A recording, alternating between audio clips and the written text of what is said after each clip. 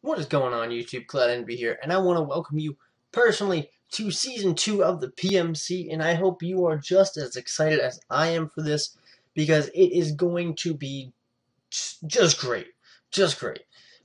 Um, we're here with Week 1 against Dr. V, a, um, someone I like to call a rival in the PMC, honestly.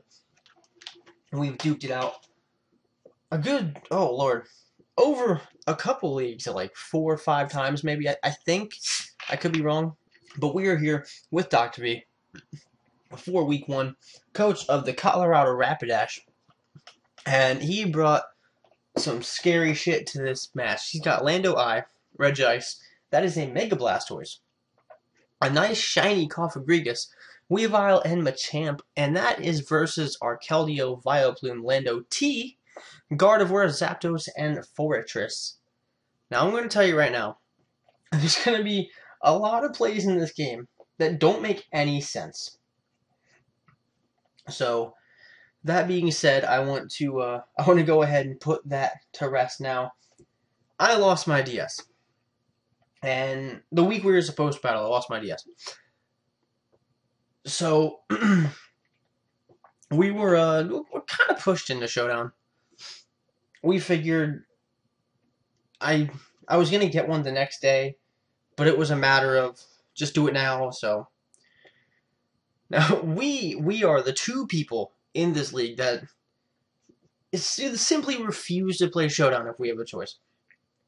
Like, oh oh my god, showdown is it's just terrible. but we previously agreed previously agreed after the schedule came out that no matter what, we would not be playing on Showdown.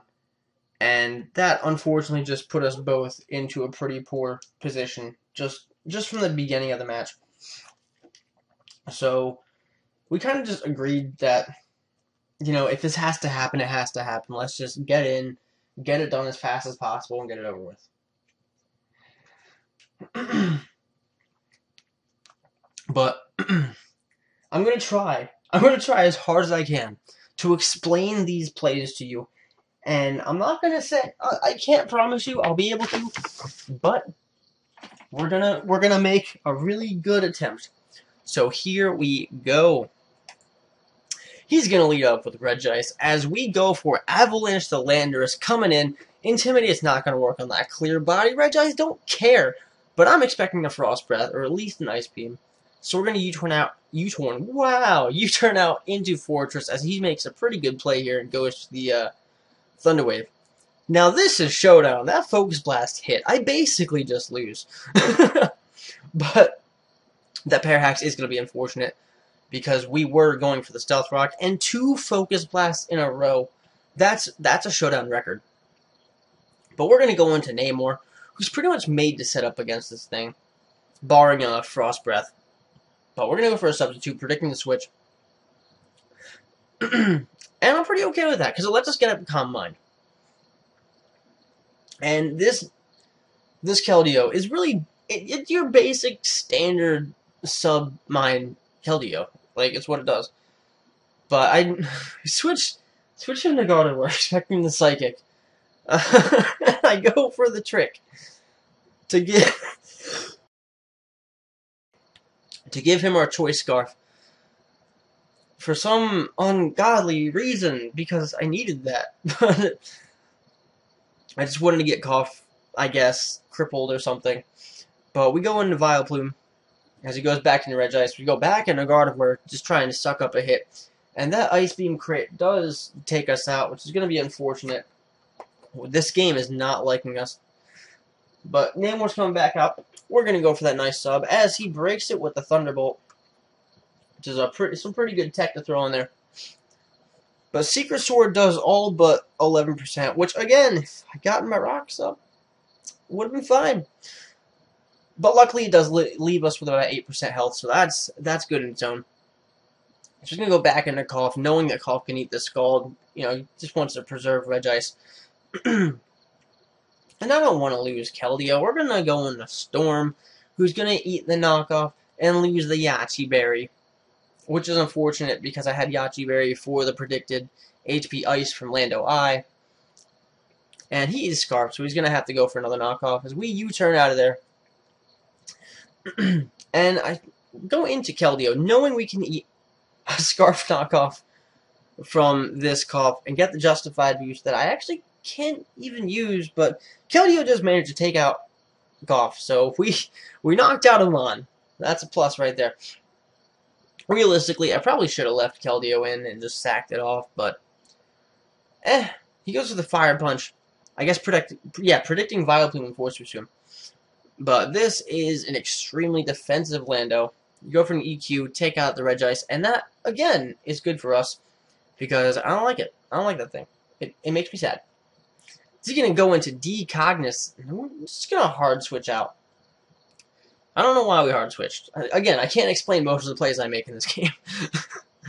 but we actually had Infestation to deal with this Blastoise, but I predicted the switch. I really thought he was going to switch. So we go for the Giga. As he goes into D Tyrannus. I'm sorry, Darth Tyrannus.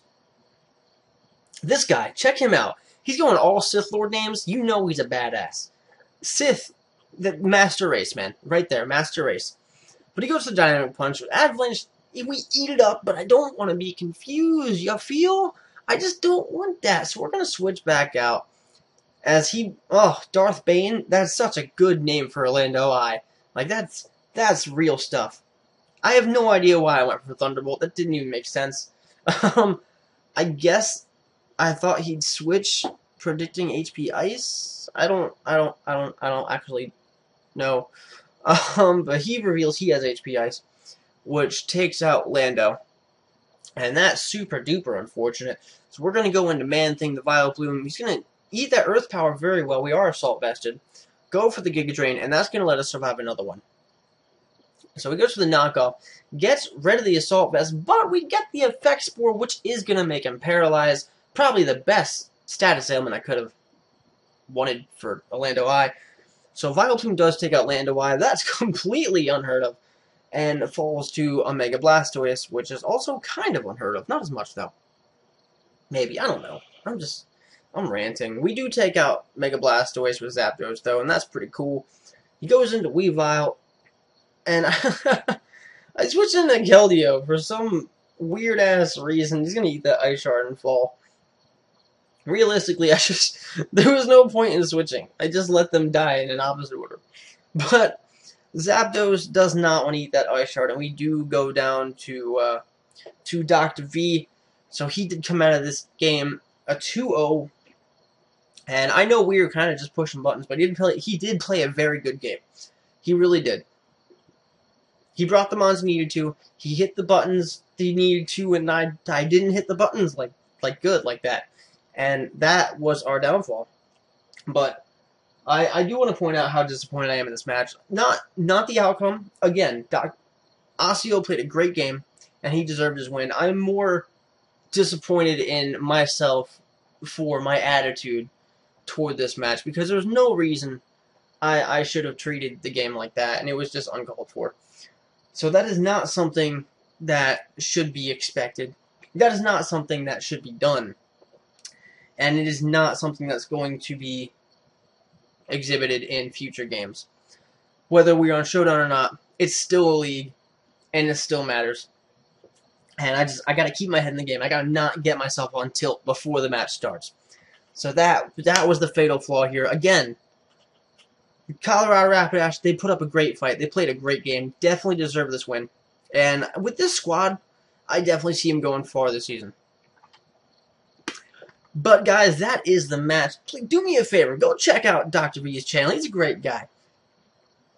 Great guy. He's got a really good squad. Go show him some love. You find his description down below as well as the other battlers in this league as well as the league page. And don't forget, I can't stress this enough, check out the analysts. Let's be honest, they do most of the work anyway. Give them some love. Hit them up. Be like, hey man, you doing good. But yeah, guys, that's going to do it for me. So, have a great night. Stay tuned for next week. We are going to be having a match with Sharpeeno, coach of the Sydney Crocodiles, and that's a match I've been wanting to have since season one, so I'm definitely looking forward to that.